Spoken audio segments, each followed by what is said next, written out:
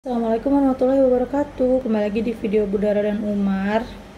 Jangan kaget ya mams karena dapurnya Tara berantakan banget. Dan ini lagi mau di makeover sama bunda Tapi bunda udah gatel banget pengen masak kebetulan.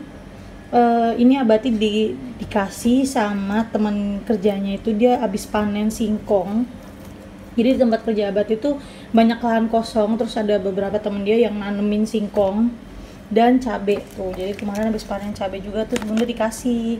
Dan abati bawa tanaman daun pandan tapi itu kayak udah mau mati gitu. Tapi ya udahlah ya masih bisa dipakai kita pakai daun pandannya.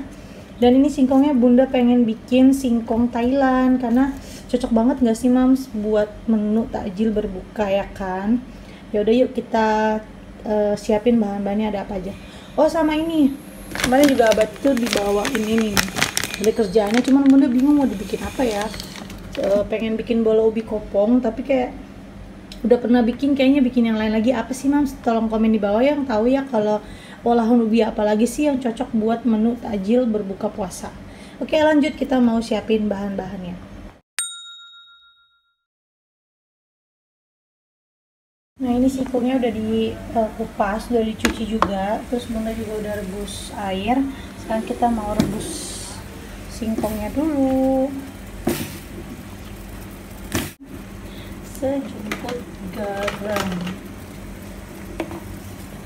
Ini dia garamnya by the way.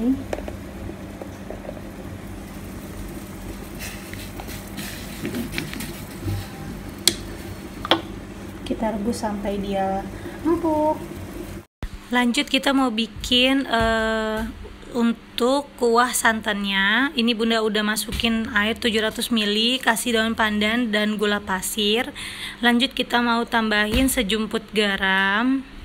Kita aduk dulu sampai rata ya mams. Lalu kita masukkan vanili bubuk. Satu saset kecil gitu yang dijual di warung-warung tuh yang biasa seribuan setelah itu kita aduk sampai merata e, lanjut kita mau masukin tepung maizenanya. Jangan lupa diaduk dulu ya moms ya tepung maizenanya biar tidak menggumpal. Dan yang terakhir bunda mau masukkan santan kentalnya. Diaduk dulu dalam keadaan kompor masih mati ya mam ya. Setelah itu kita masak di api kecil aja sambil terus diaduk nah ini hasilnya setelah beberapa menit diaduk udah mulai kelihatan mengental dan udah tercium juga wangi vanilinya dan wangi pandannya juga. Nah kalau kayak gini kita tinggal tunggu dia sampai meletup-letup sedikit lalu matikan kompor tunggu sampai dingin dan siap dihidangkan sama singkong rebusnya. Nah ini singkongnya udah jadi, tadi udah bunda ancur-ancurin sedikit, terus siap kita mau hidangkan.